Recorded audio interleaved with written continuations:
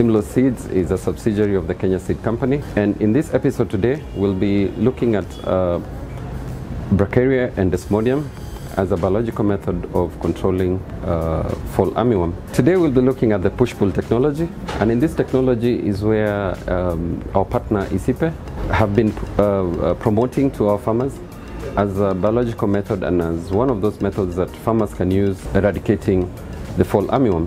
Now Desmodium is um, a legume. It's a legume where once you plant it, it, it grows, it climbs onto the other crops and the biological nature of, um, of desmodium is it repels the, the fall armyworm.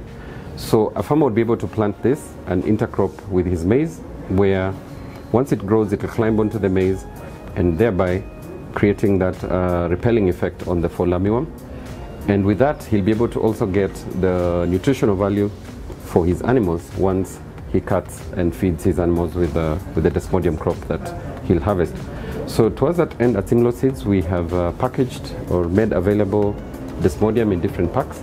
We have this in 250 grams, we have it in half kilo pack, we have it in even 100 grams which we've worked with the ICIPE to make sure that all our farmers get the right size for the seed that they require. So there are various distributors around the country and these distributors are actually certified. There are so many other shops you can buy your product, but what we advise our farmers is go to a registered uh, distributor or agro dealer. When you go to the shop, there are several things that a farmer needs to look at. First, to be able to tell that it's genuine seed, look at the packaging, look at the source. If it's a Simlaw Seeds product, it will be clearly branded uh, Seeds. And together with that, we have a KEPHIS sticker that comes with it. This authenticates the product because once we package the product, it comes uh, with a lot number which is uh, clearly marked at the top. So with that lot number and the date it was packaged and the variety will all clearly be shown on the product. So once you buy the seed, there'll be that sticker that you'll be able to scratch. It will reveal a number. It's very distinct. It's unique to this only pack. So once you reveal that number, you send it to 1393. It will give you a, a, feedback that will tell you exactly the product that you're holding in your hand. So every farmer, that is very important. Today we have a lot of uh, unscrupulous traders. That should be able to tell the farmer that is the correct seed. You can also buy directly from Simlaw Seeds. Uh, we have depots across the country. Uh, uh, right from Kitale to, to Nairobi and even further down to Loitoktok, in Meru, in Karatina, in kisi in Kisumu, in uh, Kakamega. All these centers you'll be able to get your seed. Those farmers who are now more enlightened, those who are using technology on your phones, we have our e-commerce website where you can be able to buy the same product and it will be shipped directly to you. This has been certified, it has been bred to resist diseases, it has been bred for productivity and also it is bred to be true to type. When we say this is desmodium, we surely assure you that what you'll grow from this pack is desmodium seed. Or mostly desmodium uh, thrives in almost all agroecological zones because desmodium is highly adaptable. It, it, performs very well. You can intercrop it with your maize. You can you can grow it as a barrier crop, or even areas of your land where you are not able to utilize because of the steepness or the slope is too steep for you for you to put any other crop. Desmodium will go in there very well. It's a perennial crop, so once you have it once in your field, you don't have to keep buying seed. This is a very suitable uh, uh, fodder for all our, our, farmers who are doing dairy and also to control uh, the fall armyworm that is now a menace for the maize farmers and even other crops. We have a small demo plot out here on Kijabe Street and we want to show you exactly how desmodium grows and how brachiaria looks like. This is uh, a desmodium, the green leaf variety. There are two different varieties. There is a silver leaf variety and the green leaf variety. You will use the leaves to feed your animals, very nutritious, very high in protein, and at the same time repel the, the fall armyworm that will be a problem to your maize crop. We'll go ahead and even show you how to properly plant your desmodium and brachiaria seeds in your farm. Brachiaria is also a fodder crop, very smooth leaves. Unlike uh, your Napier grass, Brachiaria has very smooth leaves. It is smooth, it doesn't have spines on it. Can use for your push-pull technology where you can grow it along the side of your farm, bordering your crop. It will attract all the fall armyworm away from your field and therefore protecting your crop from any infestation or even minimizing the infestation that is likely to occur in your field. we've prepared a seedbed where we'll be able to demonstrate to you how to plant uh, Brachiaria.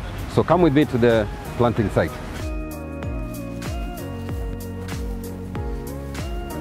The seed rate for Desmodium, you'll need uh, 3 to 4 kilos per acre. The higher the seed rate, the more dense your crop will be. The lower the seed rate, the lesser dense your crop will be. So if you're uh, intercropping also, you, you can reduce your seed rate to say 1 kilo per acre. Desmodium has really, really tiny seeds. Below the crop, prepare your land to a fine tilth. Make sure there are no weeds, Make sure the soil is loose and firm. So you'll prepare narrow furrows along or in between your maize crop. You can use uh, fertilizer, but if you already have a crop that you've already uh, planted with, uh, with some planting fertilizer, be it DAP or uh, any, any NPK fertilizer, then you will not need to use any additional fertilizer. But if you're doing a pure stand like what we are doing now, then you'll need to incorporate some fertilizer or manure in your farm before you sow the seed. Make furrows of uh, 30 centimeters wide then hold the seed in your hand and just drill it continuously all along uh, the furrow. This will be 30 centimeters apart and you continue to drill. Just make sure it's not too concentrated, just uh, spread it out evenly along the furrow. Gently just cover the, the seed. So the furrow would be just slightly one inch deep.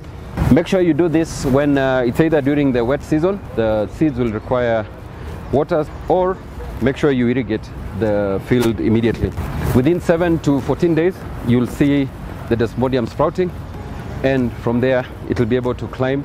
Take care of the weeds, make sure there are no other weeds that follow up the desmodium that you've planted immediately until the crop covers the ground. Right here this is a, a demo plot, but this is the same thing you'll be doing in your farm, especially when it's a pure stand. When there's a crop, you'll be intercropping the same uh, desmodium alongside your, your, your, maize crop. For push pull, uh, you require two products, control fall armyworm. We have shown you how to do desmodium, how to plant your desmodium. Desmodium pushes the, the vector out of your farm, while Brachiaria pulls, pulls the vector towards itself and therefore away from your crop. So with Brachiaria, you'll be planting it around your field. So if this was your field, then you'll go sowing your Brachiaria around it so that it can um, stop the pest from coming into your field and even pull what is uh, in the farm already out of the field so your crop will be safe from any uh, fall armyworm pest. Uh, farmers out there, you'll be able to get this product and control uh, fall armyworm at a very low cost by planting uh, the correct seeds of Brachiaria and, uh, and Desmodium. You can also reach us, call us please on 0722 uh, 200 four, five. We'll be able to advise you on how to plant. We'll be able to advise you on where to get the correct seed. And thank you so much. Until next time.